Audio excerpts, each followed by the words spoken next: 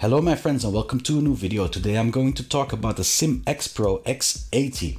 It's the first profile rig that I review. I had had some comments in the past about why I didn't buy one of those and because the stability and configurability of those are just superior to others. The answer, well, is quite obvious. They are very expensive or at least in my opinion they are very expensive. Now i was on the second hand market and i found a very good priced uh, one so i decided to buy it and review it anyway. As usual i will go over the various aspects of the seat and finish off with a conclusion for this rig the configurability in these chairs is phenomenal. It is the best that I have ever tested and this is thanks to the use of the profiles in it. You can uh, adapt the height or the, the depth of, of, of, of your steering wheel and everything very, very easily. Starting off with the pedals, there are 5 positions in the back and 6 positions in the front if you also count letting it rest directly on the floor. And there are also 2 grooves in the profile too that you can use. I'm not particularly strong in maths, but I would say you have about 50 different positions on how to fix the pedal base.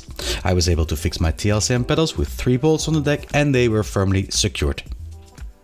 The seat can be adjusted with 4 different positions on the front and 4 in the back. For the back part there are some different distances possible to fit other chairs.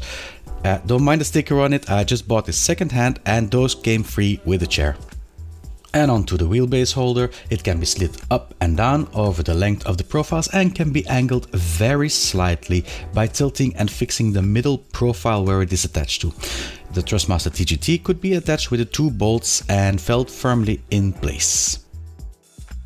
So I, I, will say building quality is good, but I did encounter an issue when I was building it. So I had like these uh, building cards, and uh, on one of those building cards there was like uh, the, uh, the, the wheelbase holder bar that you need to attach. So I attached it according to what I saw here, and then what I witnessed was the following.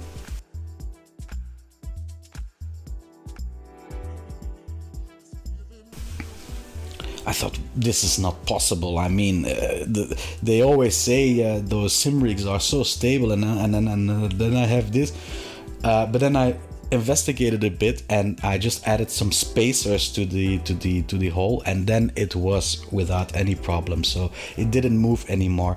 But I have to mention that um, when you're not so savvy in in in in building things, building rigs that uh, well, if it's not on your on your manual, then you just don't do it. So there's no spacers on here, so I didn't add spacers, and I had this. Uh, it's just after I added the spacer, then it became good. So that's something that's yeah perhaps the manufacturer needs to take into consideration that not everybody that builds a profile knows what to do in case of yeah a problem like this Apart from this, I have very little to complain about. The 80mm profiles that are being used look and feel very sturdy. They have a clean finish and no sharp edges. And the same goes for the 40mm profiles that are included. They make for a very stable unity. The means of attaching the bolts to the frames is something I would like to mention too. Since it is my first review of a profiles rig, I don't know how it is done with others, but the T-nut principle with the little locking ball works fantastically well. It keeps the nut in place when you attach the bolt. Very handy. The matte black paint is also of high quality. There are some markings of course where the configuration is done, but in all it seems fairly scratch resistant. The SimXPro GT seat is a bucket seat and of high quality. The back is made out of some polyester glass laminate and the upholstering is a soft, thick and durable fabric. Without doubt, it will keep you warm in the winter. The seat itself is uh, very narrow and is snug when seated inside it. For the immersion part, this seat must be one of the best I have tested so far. Features is something that you do not receive in a profile rig like this. I mean, when you buy it, it's bare bone, and uh, many of you will look at the price of uh, of um, uh, of the sim rig and say, yeah, okay, still manageable. I mean, it's not that expensive. True, but that is because there are no features on it. The only features that I think is standard is the uh, bar that comes uh, where you can attach the shifter to and the handbrake. For the rest, everything is an option.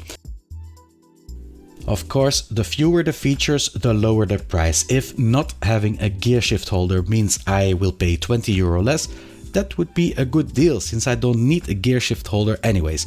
So for this rig, not having any noticeable features apart from the 4080 profiles is not such a big deal you have the display holder, you have the shifter holder, the the, the, the cup holder, uh, everything, anything that you want, they have it with SimXPro, so you can add it to your rig. The seat also is also an option, so um, and it's not a cheap one. So I think the prices vary uh, 250 and up for a seat, which is yeah if you add it to the price of the rig already, it it's it adds up. Um, of course, you're not limited to the, the, the, the, seats that you can find in the SimXPro shop. There are plenty of other seats that you can uh, can use to attach to this sim rig uh, without any issue. The seat I bought came around 1000 euro with all the construction material and options included, which is a hefty price tag. But for those that would only need the rig and a chair, it can be as cheap as 559 euro at the time I am making this video. This brings it in the neighborhood of a Playseat trophy. And in all fairness, the price is very reasonable in comparison to the similar GT Omega Prime or the next level Racing GT Elite that both hang around 800 euro. Now you might have noticed that I have been very positive in the review of this chair, but in the title I mentioned that it was a terrible experience. Well, the terrible experience was putting it together.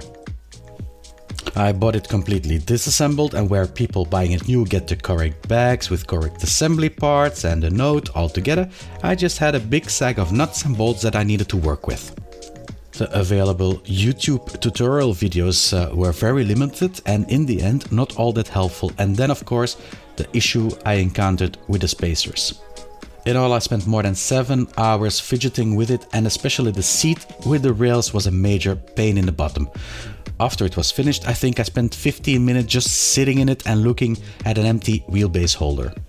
The conclusion I have for this rig is yeah, different than I had expected. It seems to be possible to find a profile based rig around the 500 euro mark and what you get for that money is very decent indeed. The barebone offering is uh, interesting for the SimXPro X80 and allows you to cut corners where you want. With the 120 cm by 68 cm dimensions, it is also not as bulky as I would have thought. After the experience I had with this rig, I have no doubt it will score very high in my next edition of the Seats Countdown. Also, just adding, Many manufacturers, including SimXPro, are having various promotions for Black Friday. It might be a good moment to look for a bargain if you are on the market for some hardware.